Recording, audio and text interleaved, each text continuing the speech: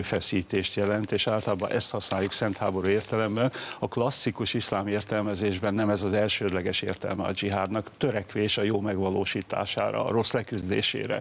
Ennek lehet nyilván egy háború értelmezés, és ha elsősorban a külső ellenség támadja meg a muszlimokat. Hozzá kell ugyanakkor tenni, hogy az iszlamisták radikális szárnya az valóban a dzsihádot használja fel, és megint visszautalok egyfajta sajátos úgynevezett eretnek, eretnek iszlám értelmezése, a dzsihádot használja fel minden általuk ellenségnek nyilvánította a szembeni harcra és küzdelemre. Tehát ez megint csak azt mutatja, Said Qutb, a muszlim testvérek vezető ideológusa hozta be a köztudatba ezt a fajta az eredetitől eltérő dzsihád értelmezést, tehát magyarul, hogy kötelező a dzsihád mindazokkal együtt, akik másképpen gondolkodnak, mint ahogy én gondolkodom, hogy lefordítsam. Tehát ez az iszlám államnak a dzsihád értelmezése, ami megint csak messze áll a klasszikus iszlám dzsihád értelmezéssel. Hogy tudják befűzni ezeket az önkénteseket, fiatalokat. Most hallhattuk friss információ, hogy egy 15 éves, 18-19 éves a másik, akit sikerült megnyerni, akkor ők igazából meg vannak vezetve? Bizonyos szempontból igen, ugyanakkor ugye kevesebb szó esik az iszlám államnak arról a tevékenységéről, amit talán úgy lehetne röviden jellemezni, hogy nemzetépítés. Tehát, hogy az iszlám állam a kalifátus jelszavával, ugye a kalifátus, ami gyakorlatilag 1924-ig létezett Mohamed halálától kezdődően, tehát egyfajta spirituális vezetését jelentette a muszlimoknak.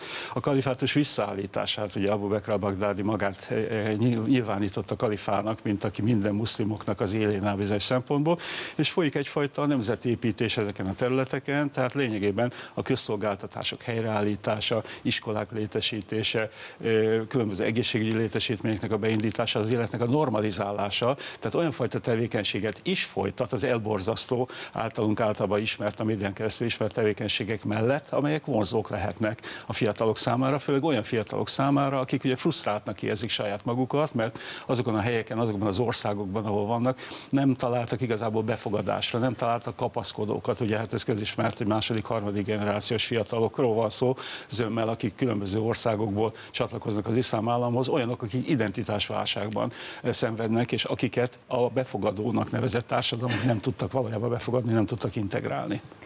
Nehezet kérek majd most öntől, hogy magyarázza, hogy mi a különbség, mert innen nehéz ezt átlátni. Mindenki reagált világszerte, és ami ebből a szempontból számomra a legérdekesebb volt, hogy a Hamas és az iszlám dzsihád is elítélte a párizsi merényletet, pedig szélsőséges szervezetről van szó.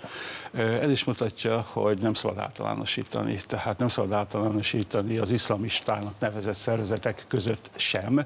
Ahogy mondja, a Hamas és a Hezbollah szélsőségesnek nyilvánítható szervezetek, de hagyd tegyem hozzá, Hezbollah esetében például, hogy a Hezbollah az politikai pártá alakult, és indul Libanonban a választásokon, amennyiben jó eredményt ér el, akkor a kormányba is bekerül, a parlamentbe is bekerül, ugyanakkor nagyon komoly a támogatottsága például hasonlóképpen, mert szociális karitatív tevékenységet is betölt. Tehát ez is mutatja azt, hogy nagyon árnyaltan kell ezekkel a szervezetekkel foglalkozni. A Hamasszal ugyanez a helyzet egyébként Gázában, a Gázában élő életkörülmények javítására nagyon komoly lépéseket tett, amellett persze, hogy erőszakos akciókat is tett. De gyakorlatilag ez is mutatja, hogy az iszlám államnak ezeket a céltalan és értelmetlen lépéseit szervezeteit még ezek a szervezetek sem fogadják el. Ők ugyanis azt mondják, amikor támogatták is mondjuk az öngyilkos merényleteket, akkor ez bizonyos konkrét cél érdekében, tehát adott esetben megszállt területek felszabadítása, vagy más ehhez hasonló. Itt viszont bosszúról van szó, ráadásul iszlám területeken kívüli területekről van szó a, az iszlám állam által elkövetett merényletek kapcsán, tehát ezt még ebből a szempontból sem támogatják, még a radikális iszlamista szervezetek sem. Most ugye egész Európa, az egész világ összefogás sürget. Mi a helyzet a térséggel? Maguk, akik iszlám vallásúak, nem fognak majd össze, hogy kivessék maguk közül az iszlám államot? Tehát ott nem indulhat el egy, egy új típusú összefogás? De azt gondolom, hogy igen, tehát az iszlám államnak érdemi szövetségesei nincsenek. Most nem gondolok azokra a szervezetekre, amelyek hűségesként fogadtak az iszlám államnak, és ráadásul azt is tudjuk, hogy nagyon komoly rivalizálás, konfliktus húzódik az iszlám állam és az al között is. Ugye többek között olyan szempontból, hogy az al nem fogadja el Bagdádinak a kalifaságát, és hogy az al vezetője Zawahiri nem hajlandó hűségeskedni Bagdádinak. Tehát ilyen is folyik. Én azt gondolom, gondolom, hogy miután nincs igazából szövetséges a térségben az iszlám államnak, és nagyon komoly olyan erők vannak, helyi erők vannak, amelyek már eddig is felvették vele a harcot, hát hogy gondolok a kurdokra adott esetben, vagy gondolok a sítákra, síta milíciákra, Iránra és a többi. Tehát nagyon-nagyon sok országnak és nagyon-nagyon sok ilyen szervezetnek érdeke az, hogy összefogjanak az iszlám állammal szemben. Tehát én most pozitív fejleményt látok a, a dolog mögött, tehát egyfelől ugye azt is tudjuk, hogy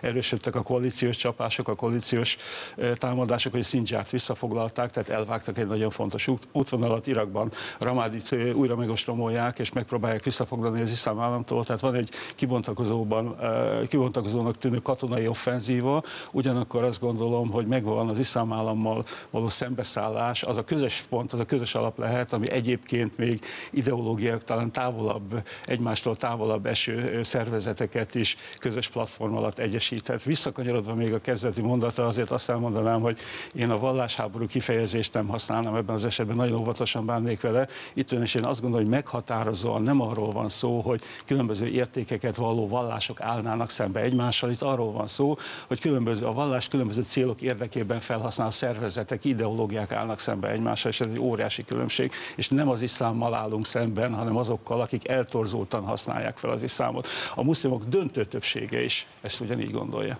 Órákig tudnám hallgatni, fogunk még erről beszélni. Köszönöm, hogy itt volt. Köszönöm a megkeresést. És folyamatosan jelennek meg a friss